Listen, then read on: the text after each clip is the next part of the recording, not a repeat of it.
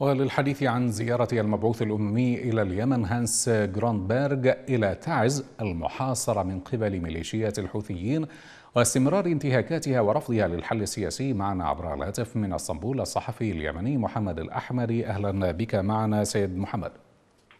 مرحبا بك أخي العزيز والمشاهدين. أهلا بك سيد محمد المبعوث الأممي هانس جراندبرغ يقول من تعز إن المدنيين حرموا أبسط الحاجيات. السؤال هنا ما الذي يعنيه أو تعنيه هذه التصريحات بعد أعوام من المهمة الأممية؟ تحية لك مرة أخرى والمشاهدين. الحقيقة أن الزيارة التي أجراها اليوم المبعوث الأممي الجديد إلى اليمن هانس برونبرغ إلى مدينة تعز المحاصرة والتي تتعرض لقصف متواصل من ميليشيا الحوثيين طوال السنوات السبعة الماضية سقط على إثرها المئات بل الآلاف ربما بين قتيل وجريح والحصار الخانق الذي تفرضه الميليشيا على هذه المدينة ظلت الأمم المتحدة رغم المناشدات المستمرة للأهالي وللمنظمات الحقوقية المحلية والمنظمات الدولية التي تطالب بموقف أممي صارم وواضح ازاء هذه الانتهاكات والجرائم التي ترتكبها ميليشيا الحوثيين المدعومة ايرانيا في اليمن لكن آه، لا حياة لمن تنادي. اكتفت الأمم المتحدة ببيانات والغريب أنه حتى بيان المبعوث الأممي اليوم في ختام زيارته لتعز تحدث عن مأساة تعز وتحدث عن الحصار وتحدث عن قصف الأطفال في تعز لكنه تحاشى الإشارة بشكل واضح إلى ميليشيا الحوثيين المجرم الحقيقي الذي يقوم بهذه الأعمال وبهذه الانتهاكات سواء الحصار أو الهجمات العشوائية التي تطال المدنيين أطفالا ونساء. ناهيك عن القناصة المنتشرين في العديد من أحياء المدينة الذين لا يفرقون بين طفل وامرأة صغير وكبير ولا زالوا يحصدون أرواح المدنيين باستمرار. ناهيك أيضا عن الألغام المنتشرة بشكل واسع.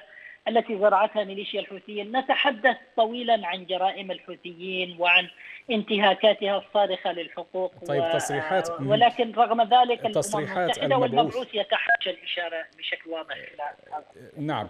يعني تصريحات المبعوث الأممي وتحاشيه الإشارة إلى ميليشيات الحوثي. ما الذي يفهم منها؟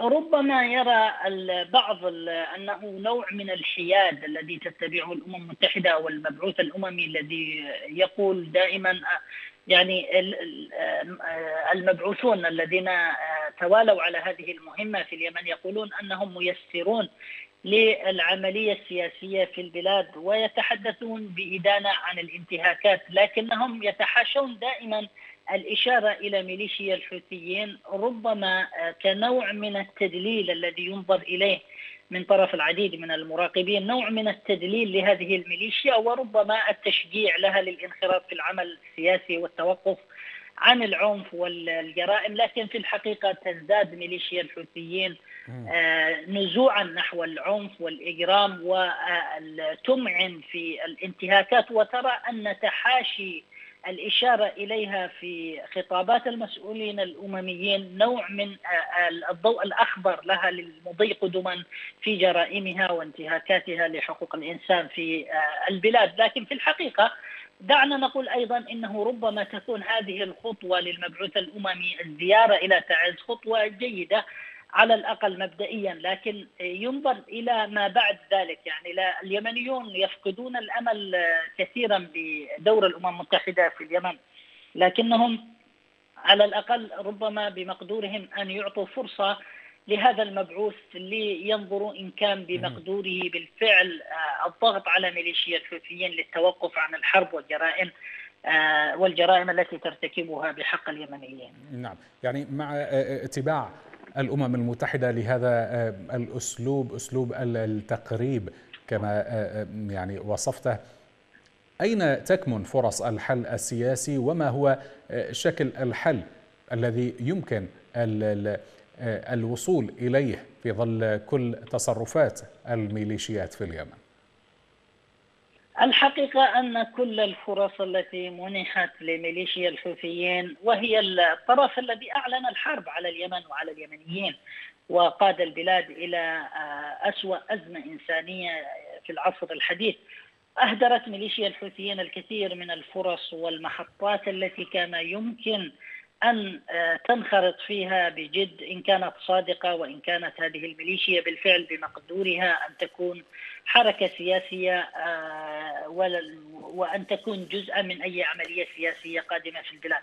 يعني أجريت جولات حوار عديدة برعاية الأمم المتحدة بدءا من جنيف وستوكهولم والكويت و العديد من جولات الحوار لكن ميليشيا الحوثيين ظلت متمسكة بالعنف وبالسلاح لفرض خياراتها على الشعب اليمني وهي خيارات مرفوضة بطبيعة الحال. لا يمكن لليمنيين أن يعودوا إلى وصاية فئة من اليمنيين. ترى أنها يجب أن تحكم اليمنيين بالحديد والنار بموجب تفويض إلهي بناء على امتيازات سلالية عنصرية تراها لنفسها. وبالتالي أعتقد أن فرص الحل السياسي في اليمن مهدورة وأهدرت كثيرا نعم. وأمام اليمنيين فرصة وحيدة هي الدفاع عن حقهم في الوجود وعن كرامتهم شكرا. وانهاء هذا المشروع العنصري التدميري في البلاد مشروع الإمامة بنسخته الحوثية الخمينية في البلاد هذا المشروع مشروع عدمي ولا يمكن شكرا. ان يكون مشروع شكرا حياة شكرا جزيلا لك كنت ضيفنا عبر الهاتف من إسطنبول الصحفي اليمني محمد الأحمدي. شكرا جزيلا لك.